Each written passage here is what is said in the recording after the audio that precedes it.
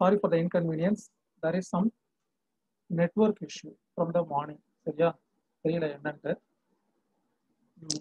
Okay so நம்ம இப்போ என்ன பார்த்துட்டு இருக்கோம் செக்ஷன் ஃபிஃப்டி ஃபைவ் பார்த்துட்டு இருக்கோம் ஸோ செக்ஷன் ஃபிஃப்டி ஃபைவ் வந்து எங்கே அப்ளை ஆகும் அப்படின்னு சொல்லிட்டு நம்ம சொல்லும் போது நான் என்ன சொன்னேன்? ஒரு சேல் டீட் எடுத்து பார்த்தீங்கன்னா சேல் டீட்ல இனிஷியல் பேராகிராஃப்ல செக்ஷன் ஃபிஃப்டி ஃபோரை பற்றி சொல்லியிருப்பாங்க. அதாவது என்ன? Who is giving this property to whom and for what consideration this property has been given அப்படிங்கிறத பத்தி சொல்லியிருப்பாங்க அதே மாதிரி இந்த ப்ராப்பர்ட்டியை யார்கிட்ட இருந்து வாங்கினேன்? Or how it come from one person to another person அப்படிங்கிற அந்த எவல்யூஷனை போட்டிருப்பாங்க. And then they would have made some points now this deed of of witness witnesseth as follows அப்படின்னு சொல்லி போட்டிருப்பாங்க. அப்படின்னு என்ன அர்த்தம் அப்படின்னா எதுக்கு உட்பட்டு on bounding on what terms and conditions this sale deed has been executed அப்படின்னு சொல்றதுக்கு பேர் தான் அந்த போட்டிருக்கக்கூடிய விஷயங்கள். ஸோ அப்போ அதெல்லாம் எங்க இருந்து போட்டிருப்பாங்க அப்படின்னா nothing like from the sky or out of the sky ஏதோ ஒன்று ஒரு ஒரு அட்வொகேட்டுடைய இல்லை ஒரு டாக்குமெண்ட் ரைட்டருடைய தனிப்பட்ட மூளைக்கு உட்பட்ட விஷயமா அப்படின்னு கேட்டால் கிடையாது. It is all what has been mentioned in section fifty five so அதுதான் நான் என்ன சொல்லியிருக்கேன்னா ஏற்கனவே சொல்லியிருப்பேன். This is called as drafting skill so ஒரு நல்ல ஒரு டாக்குமெண்ட் இப்போ ஒரு சேல் டீடை ஒரு அட்வொகேட் மூலியமாகவும் எழுதலாம் இல்லை ஒரு டாக்குமெண்ட் ரைட்டர் மூலியமாவும் எழுதலாம். இப்போ நம்மளை என்கேஜ் பண்ணும்போது நம்ம அதில் என்னென்ன டேர்ம்ஸ் அண்ட் கண்டிஷன்ஸ் எல்லாம் போட்டால் நம்ம கிளைண்ட்டுடைய ரைட் காலத்துக்கும் என்ன பண்ணோம்? எஸ்டாப்ளிஷ் பண்ணோம். அப்படிங்கிறத ப- தெரிஞ்சுக்கணும் அப்படின்னா இதில் இருக்கக்கூடிய ப்ரொவிஷன்ஸை இன்கார்பரேட் பண்ணணும் அந்த சேல் டீட்டில் அதில் எந்த ஒரு ப்ரொவிஷனையும் விட்டுறக்கூடாது. சரியா? ஸோ அது என்னென்ன விஷயங்கள் அப்படிங்கிறது தான் இப்போ செக்ஷன் ஃபிஃப்டி ஃபைவ்ல நாம டிஸ்கஸ் பண்ண போறோம். So section fifty five rights and liabilities of buyer and seller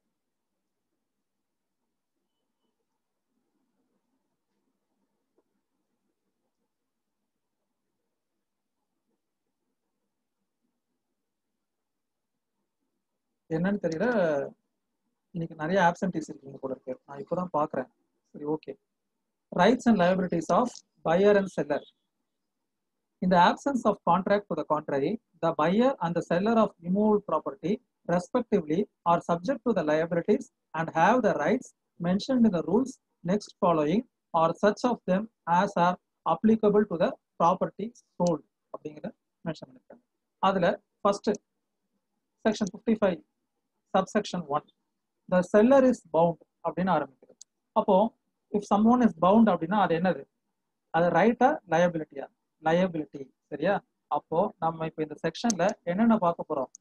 ரைட்ஸையும் பார்க்க போறோம் லயபிலிட்டிஸையும் பார்க்க போறோம். எந்த சப்செக்ஷன்லாம் பவுண்ட் அப்படிங்கிற வார்த்தையில ஆரம்பிக்குதோ for example subsection one says the seller is bound so all those clauses from subsection fifty five subsection one A to G. இது எல்லாமே என்ன பார்த்தீங்கன்னா செல்லர்ஸ் லயபிலிட்டி அதே மாதிரி for example if you come to subsection four of section fifty five the seller is entitled அப்படின்னு போட்டிருக்காங்க. அப்போனா என்னது அது? செல்லர்ஸ் ரைட்ஸ் ஸோ அப்போ அதில் இருக்கக்கூடிய ரெண்டு ப்ரொவிஷனும் செல்லர்ஸ் ரைட்ஸ் அதே மாதிரி subsection five of section fifty five the buyer is bound அப்படின்னு போட்டிருக்காங்க. அப்போ அது என்னது? பையர்ஸ் லயபிலிட்டி ஸோ இப்போ இந்த செக்ஷன்ஸை படிக்கிறதுக்கு முன்னாடி அப்போ நமக்கு ரெண்டு விஷயங்கள் தெரியுது. சில provisions are with regard to liabilities of seller and சில provisions are with regard to liabilities of buyer அதே மாதிரி சில provisions are with regard to rights of seller and some provisions are with regard to rights of buyer சரியா? So இதுதான் இந்த செக்ஷன்ஸ்ல discuss பண்ணியிருக்காங்க. இதை இன்னும் ஃபார் ஈஸி அண்டர்ஸ்டாண்டிங் இன்னும் எப்படி அதை சிம்பிளிஃபை பண்ணலாம் அப்படின்னு பார்த்தீங்கன்னா certain rights and liabilities are created before completion of sale, but another set of rights and and are created after the completion of of so இப்போ நம்ம மறுபடியும் இதை என்னவா பிரிக்க போகிறோம் already buyer's rights buyer's liability seller's rights seller's liabilities இருக்கு அதை தவிர்த்து those rights and those liabilities which are made which are created before the completion of sale on what are those rights and liabilities which are created after the completion of sale so இதுதான் நம்ம இப்போ டீடைல்டா பார்க்க போறோம். சரியா? So as we said before completion of sale என்னங்கிறத first நம்ம பார்த்துருவோம். What are the rights and and liabilities of seller அதே மாதிரி what are the rights and liabilities of buyer before completion of sale அதாவது என்ன? அந்த டாக்குமெண்ட்டை ரெஜிஸ்டர் பண்றதுக்கு முன்னாடி அவங்களுக்குன்னு சொல்லிட்டு என்ன கடமைகள் இருக்கு? என்ன உரிமைகள் இருக்கு? அப்படிங்கிறத பார்க்க போறோம் சரியா first fifty five subsection 1 seller seller is bound to a to disclose the buyer any material defect in the property or in the seller's title thereto of which the seller is and the buyer is not aware and which the buyer could not with ordinary care discover say for example first point என்னன்னு பார்த்து போட்டிருக்காங்கன்னு பார்த்தீங்கன்னா to disclose material defects which the buyer could not be aware for example நம்ம ஏற்கனவே part performance அப்படின்னு ஒரு section fifty three A discuss பண்ணும்போது என்ன சொல்லியிருப்போம்னா பார்ட் பெர்ஃபார்மன்ஸ் அப்படின்னு சொல்லியிருப்போம். ஒரு அன்ரெஜிஸ்டர்ட் இன்ஸ்ட்ருமெண்ட் மூலியமா ஒரு அக்ரிமெண்ட் ஆஃப் சேலை போட்டு on virtue of that some performance has been made by the person who has contracted அவர் என்ன பண்ணியிருப்பாரு? பொசஷனுக்கு என்டர் ஆயிருப்பாரு. அப்படி என்டர் ஆயிருந்தா அவருடைய ரைட்டை ப்ரொடெக்ட் பண்ணணும். Even though such instrument is not registered or not இந்த வே கான்டம்ப்ளேட்டட் பை லா அப்படின்னு சொல்லியிருக்கோம் ஸோ இப்போ அது ஒரு ரெஜிஸ்டர்ட் டாக்குமெண்ட் இல்லை. பட் ஆனால் அதை செல்லரும் இன்னொரு பர்சன் ஒரு ஸ்ட்ரேஞ்சரும் போட்டிருக்காங்க. அப்போ அதோட நாலேஜ் யாருக்கு உட்பட்டது? It is only within his domain seller's domain அதை பையர் தெரிஞ்சிருக்கிறதுக்கான வாய்ப்புகள் இல்லை. Because it is not going to get reflected in the encumbrance or etcetera etcetera so that is point number one point number one seller's liability that is subsection one clause A to disclose material defects சரியா? நான் இதை டீட்டெயிலாக tablet காலம் மாதிரி போட்டு நான் பின்னாடி share பண்ணுறேன் உங்களுக்கு. சரியா? புக்ஸ்லேயும் இருக்கும். நான் ஒன்றும் புதுசாக எதுவும் சொல்ல போகிறதில்ல so first liability before completion of sale என்னன்னு பார்த்தீங்கன்னா இப்போ நம்ம பார்த்துட்டு இருக்கிறது seller's liability before completion of sale பார்த்துட்டு இருக்கோம். சரியா? So first one is to disclose material defect that is clause A Then class B. Class B says to produce to the buyer on his request for examination all documents of title relating to the property which are in the seller's possession or cover. That is to produce title deeds for inspection. So நம்ம ஏற்கனவே இந்த agreement of சேல்லாம் போடும்போது என்ன பண்ணுவாங்கன்னா நிறைய parties இன்னைக்கு loan மூலியமா தான் ப்ராப்பர்ட்டியை என்ன பண்றாங்க பர்ச்சேஸ் பண்றாங்க ரெடி கேஷ்ல பர்ச்சேஸ் பண்றவங்களோட எண்ணிக்கை குறைவா தான் இருக்கு ஸோ ஃபர்ஸ்ட் இனிஷியலி தேவை பேத the token amount and they would enter into an agreement with vendor stating that this is the sale consideration. On this date, I am paying the uh, one fourth of the uh, consideration amount. Say for example, for 80 lakhs அப்படின்னா 20 lakhs இன்னைக்கு நான் பே பண்ணிடுறேன் and you have been handing over all the copies of this document of this property which is intended to be purchased. So on approval from the bank's end, the sale can be proceeded within two months from the date of execution of this agreement அப்படின்னு சொல்லிட்டு ஒரு ஒப்பந்தம் போட்டிருப்பாங்க. எதுக்குன்னா இப்போ இந்த டாக்குமெண்ட்டோடைய title இப்போ வாங்கின வாங்கி வாங்க போற ப்ராப்பர்ட்டியுடைய காப்பீஸ் எல்லாமே என்னென்ன காப்பீஸ் இருக்கும் நார்மலா பாத்தீங்கன்னா நம்மளுடைய டைட்டில் ப்ராப்பர்ட்டி டைட்டில் இருக்கும் title deed for example vendor எப்படி அந்த ப்ராப்பர்ட்டியை வாங்கியிருப்பாரு? By way of some sale deed or by way of family family settlement etcetera etcetera first title deed இருக்கும். ரெண்டாவது பேரண்ட் டாக்குமெண்ட் அப்படின்னு சொல்லுவாங்க. பேரண்ட் டாக்குமெண்ட்னா என்னன்னா பேரண்ட் டாக்குமெண்ட்னா இவருக்கு எப்படி அந்த ப்ராப்பர்ட்டி வந்துச்சு அப்படின்னு சொல்றதுக்கு தான் பேரண்ட் டாக்குமெண்ட் அப்படின்னு பேர். ஸோ அவருடைய டைட்டில் டீட் இருக்கும் பேரண்ட் டாக்குமெண்ட் இருக்கும் அப்புறம் என்கம்பரன்ஸ் சர்டிஃபிகேட்ஸ் நான் சொல்லியிருக்கேன் இல்லையா? அந்த ப்ராப்பர்ட்டியில ஏதாவது என்கம்பரன்ஸ் இருந்தால் அது ரெஃப்ளெக்ட் ஆகும். ஸோ அதுக்கு வந்து for thirteen years தேவோட applied and got that encumbrance certificate and other revenue records such as patta and other things பட்டானா என்னன்னு நான் சொல்லியிருக்கேன். ஒருத்தருடைய பொசஷனை எஸ்டாப்ளிஷ் பண்ணுறதுக்காக கொடுக்கக்கூடிய ஒரு ரெவன்யூ டாக்குமெண்ட்டுக்கு தான் பட்டா அப்படின்னு சொல்லியிருக்கோம் ஸோ நார்மலாக இந்த மாதிரி ஒரு ஃபோர் டாக்குமெண்ட்ஸ் இருக்கும். அதே ஒரு இமூவல் ப்ராப்பர்ட்டியில வேக்கன் பிளாட்டா இல்லாமல் ஒரு லேண்ட் இருக்கு அப்படின்னா அதோட இபி கனெக்ஷன் அதோட tax receipt etcetera etcetera all documents concerned with that property சரியா? இதோட எல்லாத்தையும் என்ன யார் கொடுக்கணும்? Vendor should hand over for proper checking or scrutiny by the buyer before completion of sale our satisfy ஆனா தானே will be proceeding with the sale that is what point number two now we are discussing before completion of sale what are sellers liabilities. So 55 class 1 A என்ன பார்த்தோம் to disclose material defect பார்த்தோம் 55 class 1 B ல uh, to produce title deeds for inspection.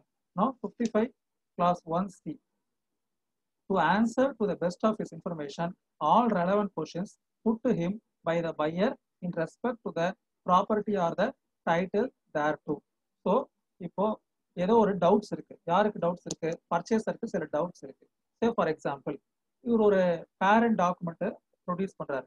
அதுல ஒரு photo அவருடைய Aadhaar கார்டுடைய copy எல்லாமே பின்னாடி வந்து அட்டாச் பண்ணியிருப்பாங்க அதுல இருக்கிற போட்டோல ஏஜ் ஆஃப் தட் அந்த பேரண்ட் டாக்குமெண்ட்ல அவருடைய ஏஜ் ஃபார்ட்டி சிக்ஸ்னு இருக்கு. ஆனா அந்த ஆதார் கார்டை பார்த்தா அது ஒரு thirty six thirty five aged person மாதிரி இருக்கு. சார் இது என்ன சார் இந்த மாதிரி ஏஜ் ஃபார்ட்டி சிக்ஸ்னு போட்டிருக்கு பட் ஆனால் இதை பார்த்தா சின்ன பையன் மாதிரி இருக்கு. இல்லை சார் இது நான் தான் பாருங்க. என்னோட மற்ற ஐடி கார்டு ஸோ இதை பாருங்க. இதை வந்து அந்த போட்டோ அந்த மாதிரி எடுத்திருக்காங்க. எக்ஸெட்ரா எக்ஸட்ரா இப்போ அவருக்கு அதில் ஏதாவது ஒரு ஐயப்பாடு டவுட்ஸோ இல்லை கிளாரிஃபிகேஷன்ஸோ தேவை அப்படின்னா before completion of sale it is the duty of the seller to answer all relevant questions concerned with the property which has been dealing சரியா? அது தேர்ட் கிரைட்டீரியா புரியுதா உங்களுக்கு? என்ன டவுட்டாக இருந்தாலும் அதை கிளாரிஃபை பண்ண வேண்டியது செல்லருடைய liability then fifty five subsection one clause D என்னது அப்படின்னு பார்த்தீங்கன்னா ஃபர்ஸ்ட் நம்ம ஃபுல்லாக படிப்போம் the seller is bound on payment or tender of the amount due in respect of the price execute a proper convenience of the property when the buyer tender set to him for execution at proper time and place to execute a proper convenience so இப்போ அந்த ப்ராப்பர்ட்டியை வாங்க போகிறவங்க தான் ஆப்வியஸாக என்ன பார்ப்பாங்க நல்ல நாள் பார்ப்பாங்க எல்லாமே கரெக்டாக இருக்கா இது பிரதமையா இல்ல அஷ்டமியா நவமியா எக்ஸெட்ரா எக்ஸெட்ரா பார்ப்பாங்க. அதே மாதிரி கன்வீனியன்ஸ் விட்னஸை கூட்டு வர போறாங்கன்னா அவங்களுடைய கன்வீனியன்ஸ் இவங்களுடைய கன்வீனியன்ஸ் எக்ஸெட்ரா எக்ஸெட்ரா எல்லாம் பார்த்து டைமை ஃபிக்ஸ் பண்ணா then it is the liability of the seller to come for registration on that particular time without making any disturbances சரியா? அதுவும் லயபிலிட்டி ஆஃப் செலர் தான். பிஃபோர் கம்ப்ளீஷன் ஆஃப் சேல் எனக்கு எனக்கு வர முடியல அப்படின்னு சொல்லிட்டா ப்ராப்பரா அதை அவர் முன்னாடியே தெரிவிச்சிருக்கணும். Then fifty five 1E. The seller is bound between the date of the contract of sale and the delivery of the property to take as much care of the property and all documents of the title relating thereto, which are in his possession as an owner of ordinary residence would take off such property and documents. So, ஒரு ப்ராப்பர்ட்டியில agreement போட்டுட்டு அதை register பண்ண வரைக்கும் இடைப்பட்ட காலத்துல யாருடைய duty to protect that இமூவ் property அப்படின்னு பாத்தீங்கன்னா from encroachment or from trespass and other things those are all seller's liability before completion of sale so அப்போ அதை ரெஜிஸ்ட்ரேஷன் பண்றதுக்கு முன்னாடி வரைக்கும் அவர் என்ன பண்ணிருக்கணும்? அதை பத்திரமா பார்த்து ஹேண்ட் ஓவர் பண்ணணும். ஸோ ஃபார் எக்ஸாம்பிள் நான் இப்போ ரீசெண்டாக ஒரு எஸ்பி கோயிலில் ஒரு வேகன்ட் பிளாட் வாங்கினேன். ஒரு ப்ரொமோட்டர் கிட்ட இருந்து. ஸோ அந்த ப்ரொமோட்டர் என்ன பண்ணியிருக்காரு அதில் ஒரு ஹண்ட்ரட் லே அவுட்ஸ் இருக்கு. ஆல்மோஸ்ட் எல்லாருமே வீடு கட்டிட்டாங்க. அவர் அதை ஆஃபீஸா உள்ள ஷெட்டு போட்டு அதை யூஸ் பண்ணிட்டு இருந்தாங்க நான் என்ன சொல்லிட்டேன்? டாக்குமெண்ட்ல வேகன்ட் பிளாட்னு மென்ஷன் பண்ண போறோம் அப்படின்னா ஆப்வியஸா நீங்க எனக்கு அதை எல்லாத்தையும் என்ன பண்ணி கொடுத்துடணும்? கிளியர் பண்ணி கொடுத்துடணும் before the day of registration நான் அதுக்கு ஒரு நாள் முன்னாடி இந்த இடத்த வந்து பார்ப்பேன். எல்லாமே தரைய சரியா சமன்படுத்திக்கணும். அதுல போட்டுக்கிற ஷெட்டு எக்ஸட்ரா எக்ஸட்ரா எல்லாத்தையும் நீங்க இடிச்சு கலட்டிக்கோங்க ஏன்னா எனக்கு வேக்கன்ட் ப்ராப்பர்ட்டின்னு டாக்குமெண்ட்ல மென்ஷன் பண்ணியிருந்தா கண்டிப்பா அப்படிதான் இருக்கணும். That is what I insisted and I also got it clear before the day of registration சரியா? So it is the duty of seller before completion of sale then fifty five clause F 55 class 1F is with regard to after completion of sale. சரியா so நம்ம அதை பார்க்கறதுக்கு முன்னாடி before completion of sale செல்லருடைய liability என்னென்ன இருக்குங்கிறத பார்த்துருவோம் A B C D E and then G F வந்து after completion of sale so நம்ம அதை தனியாக பார்ப்போம் நம்ம இப்போ ஜியை பார்ப்போம் The seller is bound to pay all public charges and rent accrued due in respect of the property up to the date of the sale. The interest on all encumbrances on such property due on such date and except where the property is sold subject to encumbrances to discharge all encumbrances on the property then existing. இப்போ நான் சொன்னேன் இல்லையா? ஒரு sale deed எடுத்து படிச்சு பார்த்தீங்கன்னா அந்த sale டீட்ல போட்டிருப்பாங்க. இன்றைய தேதி வரை இதில் கெட்ட வேண்டிய வரி மற்றும் இதர கிஸ்தி அத்தனையையும் இந்த இடத்தின் விற்பனையாளர் ஏற்கனவே கெட்டுவிட்டார். இதில் எந்த தொகையும் நிலுவையில் இல்லை. அவ்வாறு ஏதாவது நிலுவையில் இருந்தால் அதை கெட்டிக்கொள்வதற்கு விற்பனையாளர் விற்பனையாளர் பொறுப்பேற்கிறார் அப்படின்னு போட்டிருக்கோம். நீங்க படிச்சு பாத்தீங்கன்னா தெரிஞ்சிருக்கும். அப்படின்னா என்ன அர்த்தம்னா அந்த ப்ராப்பர்ட்டியை ஹேண்ட் ஓவர் பண்ற வரைக்கும் சேலை கம்ப்ளீட் பண்ற வரைக்கும் there should not be any accumulations of tax rent or some kind of எதுவுமே இருக்கக்கூடாது. என்கம்பரன்சஸ் இருக்கக்கூடாது. அப்படி இருந்துச்சுன்னா அதை கிளியர் பண்ணி கொடுக்க வேண்டியது யாருடைய கடமைன்னு கேட்டீங்கன்னா செல்லருடைய கடமை. That is what G says so சரியா? ஸோ இப்போ அந்த fifty five clause one so இப்போ before completion of a sale செல்லருடைய liability என்னன்னு பார்த்துட்டோம். After completion of a sale செல்லருடைய liability என்னன்னு இப்போ பார்க்க போகிறோம் ஸோ அது வந்து எதில் இருக்குன்னு பார்த்தீங்கன்னா மூணு செக்ஷன்ஸில் இருக்கு. ஃபிஃப்டி ஃபைவ் கிளாஸ் ஒன் எஃப்ல இருக்கு. அதுக்கப்புறம் ஃபிஃப்டி ஃபைவ் சப்செக்ஷன் டூல இருக்கு. ஃபிஃப்டி ஃபைவ் சப்செக்ஷன் த்ரீல இருக்கு. சரியா? ஸோ இது first subsection one of section fifty ஃபைவ்ல கிளாஸஸ் ஏல இருந்து ஜி வரைக்கும் இருக்கு. அதுக்கப்புறமா fifty five subsection two fifty five subsection three இது எல்லாமே with regard to seller's liability அதுல லாஸ்ட் ஒரு த்ரீ ப்ரொவிஷன்ஸ் மட்டும் with after completion of sale first பார்த்த இந்த விஷயங்கள்லாம் before completion of sale what is the liability of seller அப்படின்னு பார்த்தோம். இப்போ என்ன பார்க்க போறோம்? What is the seller's liability after completion of sale so இப்போ ஃபர்ஸ்ட் அந்த ஃபிஃப்டி ஃபைவ் ஒன் எஃப் பார்க்க போறோம். என்ன இருக்கு? The seller is bound to give on being so required the buyer or such person as he directs such possession of the property as it nature admits to give possession. So after completion of a sale, the seller cannot say, I would be inside the possession. இது ஆடி மாசமா இருக்குங்க எனக்கு வேற எங்கேயுமே வீடு கிடைக்காது அதனால நான் இப்ப கரையம் பண்ணி கொடுத்துட்றேன் காசுலாம் நான் வாங்கிக்கிறேன் ஆனா நான் இப்ப காலி பண்ணல ஆடி மாசம் போட்டோம் அடுத்து புரட்டாசி மாட்டம் போட்டோம் அப்படின்னு சொல்லிட்டு you should not drag on time. Once sale has has completed சேலுங்கிறது என்னது? டிரான்ஸ்ஃபர் ஆஃப் அப்சல்யூட் ஓனர்ஷிப் இல்லையா?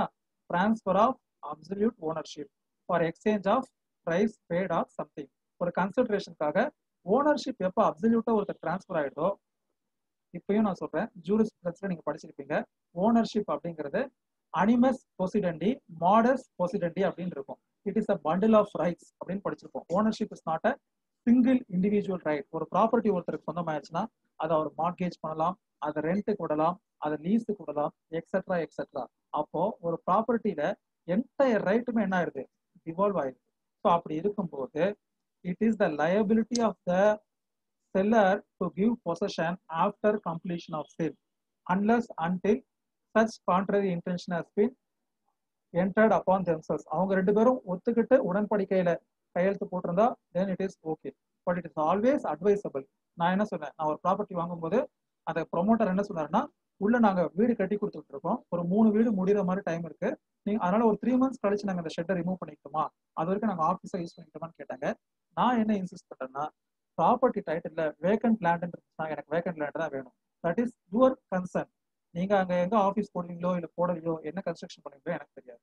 என்னுடைய ப்ராப்பர்ட்டியை நீங்க எனக்கு அப்படி கொடுத்துருங்கன்னு சொல்லிட்டேன். பிகாஸ் பொசஷன் நான் என்ன சொல்லியிருக்கேன்? ப்ராக்டிக்கலா போன செஷன் வீடியோல சொன்ன ஒரு வேர்டை திருப்பி உங்களுக்கு இன்னொரு வாட்டி சொல்றேன். One is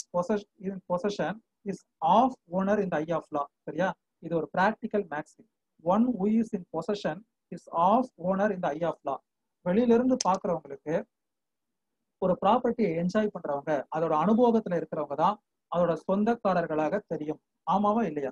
நான் ஏற்கனவே சொல்லியிருக்கேன். என்னோட ஆஃபீஸ் வழிய கணேஷ் மூர்த்தி அட்வொகேட்னு போர்டு இருக்கு. டெய்லி இங்க நான் உட்காராம வேற யாரோ ஒருத்தர் உட்கார்ந்தா பாக்குறவங்களுக்கு யார் கணேஷ் மூர்த்தியா தெரியவா நான் தெரியவாரா அப்படின்னு கேட்டா no one is in possession is of owner இந்த ஐ ஆஃப் லா ஸோ அதனால தான் பொசஷனை always before completion of sale or after completion of sale as contemplated under subsection one F of section fifty five you should be சரியா? So after completion of சேலில் இன்னும் ரெண்டு விஷயங்கள் இருக்கு. Fifty five two and fifty five three fifty five subsection two இது maxim இல்லை நான் சொன்னது. இது வந்து ஒரு காமனா ப்ராக்டிக்கல் இதுல யூஸ் பண்ணக்கூடிய ஒரு வேர்டு அதாவது சாதாரணமா கோர்ட்ல இல்ல லீகல் நம்மளோட ப்ரொஃபஷன்ல யூஸ் பண்ணக்கூடிய ஒரு வேர்டு என்னன்னா யார் ஒருத்தர் பொசிஷன்ல இருக்காரோ அவரு தான் வந்து மக்களுக்கு மக்களோட பார்வைக்கு இல்ல சாதாரண மனிதர்களின் பார்வைக்கு அவங்க they are presumed to be owner சரியா? One who is in possession is presume to be of owner இந்த eye of law full owner கிடையாது. எப்பவுமே ஒரு டைட்டிலுடைய யார்கிட்ட டைட்டில் இருக்கோ அவங்க தான் ஓனர் பட் ஆனா வெளியில இருக்கிறவங்களுக்கு யாரும் வந்து உன்னோட சொத்தோட பத்திரத்தை கூட நான் செக் பண்ணணும் சொல்ல போறோம். யார் அதை என்ஜாய் பண்ணிட்டு இருக்கோம்? டெய்லி நீ ஒரு வண்டி ஓடிட்டு இருக்க அப்படின்னா yeah yeah yeah correct yeah your friend has type it correctly என்னோட இன்டர்நெட் இது ரொம்ப அன்ஸ்டேபிளா இருக்கு. நான் டைப் பண்றது கூட யோசிக்கிறேன். One who is in possession is off owner in the eye of law சரியா then we'll move on to 55 clause 2 the seller shall be deemed to contract with the buyer that the interest which the seller professes to transfer to the buyer subsists and that he has to power to transfer the same provided that where the sale is made by a person in a fiduciary character he shall be deemed to contract with the buyer that the seller has done no act whereby the property is encumbered or whereby he is hindered from transferring it the benefit of the contract mentioned in this rule shall be annexed to and shall go with the interest of the transferee as such and may be enforced by every person in whom that interest is for the whole or any part thereof from time to time vested. சிம்பிளா ஒரே வார்த்தையில அந்த fifty five class டூவை சொல்றதா இருந்தா என்ன சொல்லலாம் அப்படின்னு கேட்டீங்கன்னா implied covenant for title so it is Seller's liability இந்த ப்ராப்பர்ட்டி நீங்க வாங்க போறீங்க அப்படின்னா இந்த இடத்துல இதை பண்ணக்கூடாது அப்படிங்கிறது கோவனட் ஏற்கனவே கோவனட்னா என்னங்கிறத செக்ஷன் ஃபார்ட்டியில நாம டிஸ்கஸ் பண்ணிருக்கோம். ஸோ கோவனட்னா என்னது? ஒரு ப்ராப்பர்ட்டியை ஒரு பெனிஃபிஷியல் என்ஜாய்மெண்ட்டுக்காக அதுல சில கண்டிஷன்ஸ் இம்போஸ் பண்ணிருக்காங்கன்னா அதை வச்சிருக்கிறவர் இன்னொருத்தர் விற்கும் போது it is duty bound for him to say that you are not suppose to do this or you are suppose to do only by this way not to perform only in this aspect அப்படிங்கிறத சொல்லணும். சரியா? நான் அதான் of ஓனர்னு சொல்லிட்டேன். இப்போ அடுத்து ஒரு doubt உங்க ஃப்ரெண்டுக்கு சார் அது அன்லாஃபுல் பொசிஷன் தானே?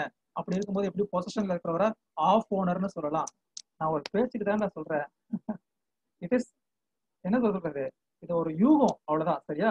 Let us leave it over there then will move on to fifty five clause three இதோட நிப்பாட்டிக்கலாம். அதாவது நம்ம இப்போ இன்னைக்கு கிளாஸ்ல என்ன பார்த்துருக்கோம்னா செல்லர்ஸ் லயபிலிட்டி மட்டும் தான் பார்த்துருக்கோம். Before completion of sale and after completion of sale so after completion of சேல்ல fifty five class three last criteria so அதுல என்ன சொல்றாங்கன்னா அதை சிம்பிளா சொல்றதா இருந்தா to deliver title deeds on receipt of price where the whole of the purchase money has been pay to the seller is bound to deliver to the buyer all documents of the thing so once அந்த sale consideration வாங்கிட்டா entire document உடைய ஒரிஜினலையும் அங்க வச்சு hand over பண்ணிடணும் initially will give the copies of the documents to check the title but after receiving the consideration and after registration is completed we have to hand over all parent documents patta etcetera etcetera to the buyer சரியா so this is what with regard to sellers liability before completion of sale and after completion of sale. Before completion of sale, 55 class 1 ஒன்லேருந்து இருந்து A இருந்து G வரைக்கும் இருந்துச்சு. F மட்டும் இல்லை. F அப்புறம் fifty five class two fifty five class three இதெல்லாம் sellers liability after completion of sale. So that's all for today's